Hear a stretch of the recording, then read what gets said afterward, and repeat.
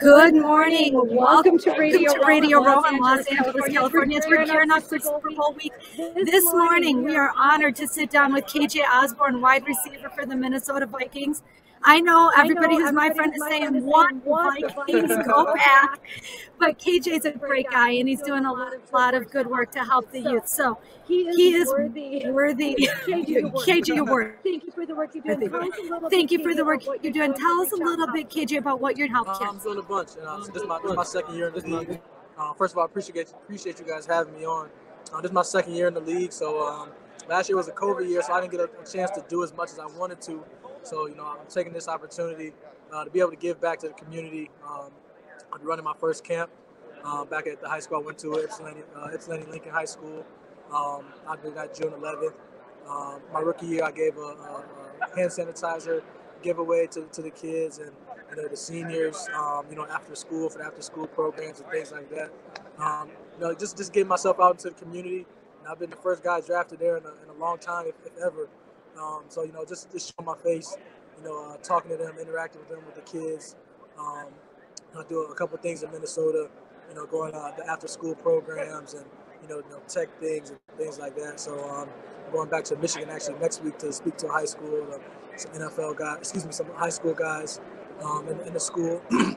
so it's a, it's a bunch of things that I'm doing, and um, I'm looking I'm looking forward to you know just giving back to the community more you know, uh, talking to people and you know, shaking some hands, talking to people. So, KJ, I got to ask you, and I, I, mentioned this to you off the air, so this isn't a surprise to you. But I'm at the Pro Bowl last week, and I'm talking to a Pro Bowler, and I say, you know, if I gave you twenty-five thousand dollars and said use this for good, how would you spend it? And this Pro Bowler looks at me and he's like, I don't know. I don't know. I never thought about that. Right now, I'm playing football. I'll think about that when I retire. KJ, you started doing this in your first year year as a rookie. So I just, so I just got to ask you, you know, somebody put this in your heart when you were a young player to get involved and give back. Tell me about that story, please. Oh, well, you know, somebody did it to me. Some, you know, there's a saying, you know, teach one, teach one. You know, this somebody, in your somebody heart. put me under their wing, uh, and, you know, and brought me up, you know, when I need to learn the details about, you know, how to be a professional athlete, how to be in high school and college. Um, and they pass it out to me. So it's my job, you know, and, and our job, you know, as, as I get older, to pass it down to the next generation, you know, to to be there for you know for something that I didn't have, rather that be, you know, a mentor or a role model, you know, someone you know they can they can reach out to. It's a bunch of mental health stuff going around, um, you know, so I can give them kind of a safe space. You know, I'm I was them. That's what I tell people all the time. Like I am you. Now I'm just a, a, a normal guy, just like you are. Um, I work my butt off to get to the NFL, but you know we, we have a lot of things alike than what you think. Um, so that's what I try to do. So um, I feel like it's my job to you know be a blessing and pass and pass my, my things down that have been taught to me to the next generation. So you talked about somebody else did that for you when when you were growing up. Give us a little bit of sense of uh, who that was and what stage of your life made the greatest impact. We hear people uh, impacted by coaches, by former players. Tell us a little bit about what created this desire for you? Right. So, Caleb, you know, you don't like this. Um, my, my, first, my first, you know, mentor was uh, Ahman Green. Ahman Green. Um, all time, time, you know, leading rusher for the Green Packers. That's my guy. And um, I would go up to his house in the summertime. Me and my buddy EJ. You know, I went up there two, three summers. We stayed with him for a week, two weeks, three weeks, and we would train with him. You know, this is while he was still playing. You know, we go to Packer games and you know we'd be on the field. You know, we wake up and train with him in the, in the weight room. We go to the D1 facility. Um, so he kind of he kind of showed me. My uh, God, man, how you doing, bro? you want to sit him down? You can. so uh, we we uh, he, he kind of took me under his wing and you know really showed me you know um, you know the, the way to go. Um, you know how to be an NFL player. And I was that was young. You know just how to how to be a pro. Um, so you know that was that was the first you know kind of mentor I had to you know kind of kind of show me the way and, uh, and, and be an example. I, love it. I love it. And shout out to Ahman because that is a man of character. And, and when we see guys who get it, it makes all the difference in the world. KJ, I want to say to you, I'm so impressed by your character, by your willingness and your commitment to give back. I'm just so proud of you. I, I really am. So I want to say thank you. I have a question for you. I know being up in Minnesota these last few years, there's been quite a number of incidents you know, in terms of social justice and, and some shootings and, and, things like that. How has that impacted the, the Viking team, you know, you specifically and, and your teammates? Uh, you know, it just brings us closer as it does, you know, everybody, you know, the whole city, and as you know, the George Floyd thing happened, you know, the whole country. You know, we want to, we want to, you know, stand up. You know, um, you know, how can these things stop? You know, how what what can we do in our community?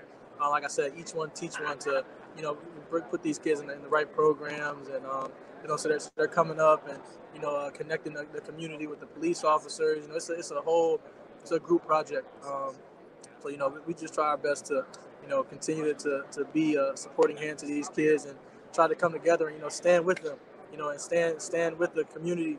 You know, stand with you know like with, with the, the people that's uh, against police brutality and you know all these different things that's going on uh, today.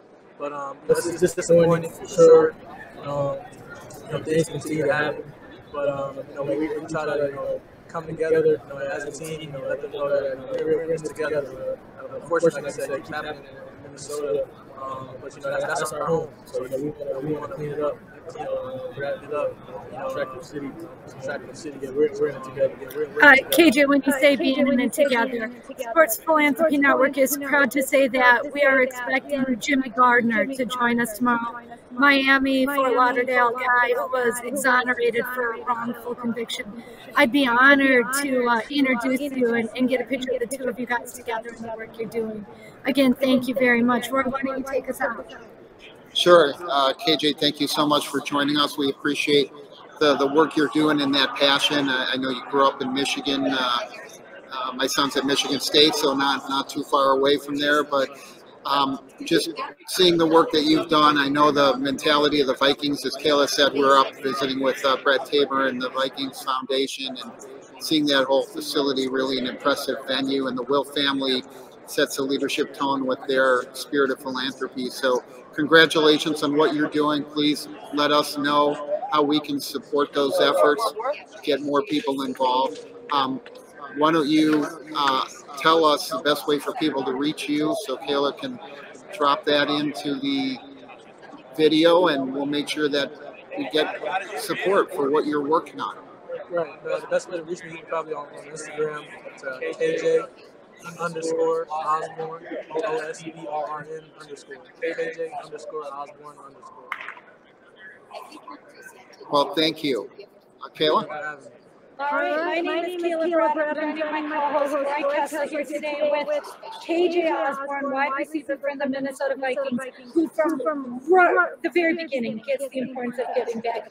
KJ, thank you so much. On behalf of Roy and myself, we um, invite you to remember to live generously. Thanks, KJ. Thank you.